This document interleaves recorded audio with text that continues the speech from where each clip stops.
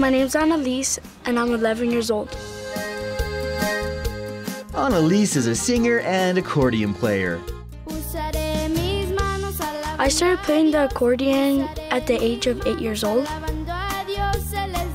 She plays a style of traditional Mexican music called norteño. I love making music because I feel happy when I make music. I feel like I'm like more closer to God because I sing for him and I play for him. When she's not playing music, Ana Liz loves playing basketball with her brothers and taking care of all the animals on the ranch in Arizona where she lives. On our ranch, we have horses, pigs,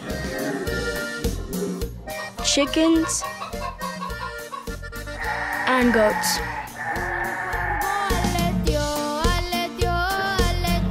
My horse's name is Frosty. He's a really nice horse. Sometimes he's really sleepy. He doesn't like to walk. I don't think he sleeps in the night or something, but he's really tired.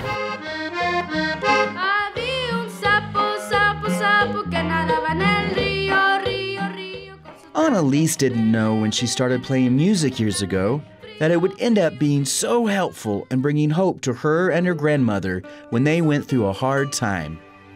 So, my grandma was diagnosed with breast cancer in 2017. As her grandma fought cancer, Ana Liz and her accordion constantly kept her grandma's spirits up and helped her to keep fighting. Um, when I played my accordion to my grandma, I would be happy because I would see her happy.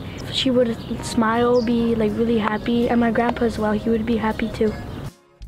I usually play um, one of her favorite songs, which is "Let's Praise the Lord," and she loved that song. Ana Liz sings that song for us. I'm gonna use my hands to praise the Lord. I'm gonna use my hands to praise the Lord. He is worthy to be praised. He is wonderful, marvelous, Lord of lords, kings of kings. Ana Liz and her grandma held on to hope in Jesus, even though times were hard. What brought me hope was that I would always hear her pray. Like in my like opinion, I would be sad when I would see her like drink all those medicines that she would have to drink. But I knew she had hope that God would make a miracle in her. After lots of praying and trusting in Jesus' power, Ana Liz's grandmother got better. God healed her from cancer.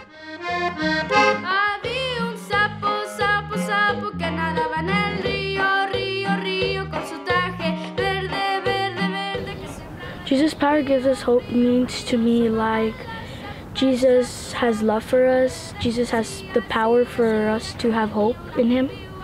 In the Bible, in the book of Psalms, chapter 31, verse 24, it says, So be strong and courageous, all you who put your hope in the Lord. God's always with you. God loves you. God's here for you. God loves everyone equally. He would love you too. Ana Liz learned that Jesus' power gives us hope.